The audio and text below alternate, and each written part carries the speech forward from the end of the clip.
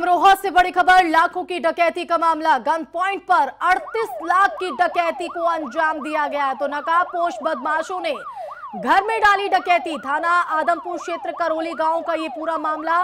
तो ये बड़ी खबर आपको हम दे रहे हैं, जहाँ पर नकाबपोश बदमाशों ने डकैती को अंजाम दिया है। तो थाना आदमपुर क्षेत्र, करोली गाँव का ये पूरा मामला है। तो ये बड़ी खबर अमरोहा से लाखों की डकैती का ये मामला सामने आया, जहाँ पर घर को निशाना बनाते हुए 38 लाख रुपए की डकैती।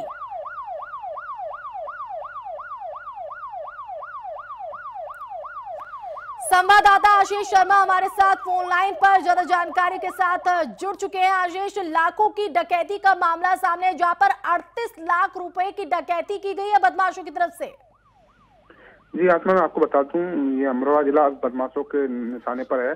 जहाँ आए दिन कोई दिन घटना जाती है जहाँ पर अभी कुछ दिनों पहले यहाँ पर महिलाओं की हत्या चोरी डकैती लूट ऐसे आए दिन वारदातें सामने आ रही हैं। जिससे लेकर आज बीती रात में एक हथियारबंद बदमाशों ने एक परिवार को बंधक बना लिया बनाकर उसे गन पॉइंट पर ले लिया और अड़तीस लाख जो रुपए का कैश जो रखा था उसका लूट का फरार हो गए हैं। और जब फरार बदमाशों का अभी तक कुछ पता चल पाया आशीष?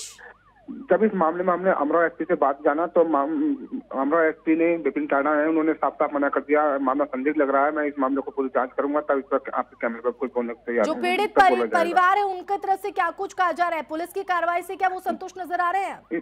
थाना आदमपुर के रहने वाले जो करौली गाँव के राजेंद्र सिंह है दूध के व्यापारी हैं और इन्होंने तहरीर दे दी है। फ़िलहाल पुलिस अभी मामले को संदिग्ध मामले चल रही है और अभी तक कोई उनकी ना ही कोई बदमाश से गिरफ्तारी हुई है ना अभी इनकी कोई एफ़ दर्ज की गई है। हम्म। अभी अभी ये थाना चौकी की चक्कर लगा रहे हैं। चलिए आशीष बहुत बहुत शुक्रिया आपका जुड़ने के लिए। तो लाखों की डकैती का ये पूरा मामला अमरोहा का है लेकिन ज़ाहिर तौर पर सवाल यही खड़ा हो जाता है कि कहीं ना कहीं इस तरह के डकैती को इतनी आसानी से अंजाम देकर बदमाश फरार हो जाते हैं इसकी वजह पुलिस का ढुलमुल रवैया है।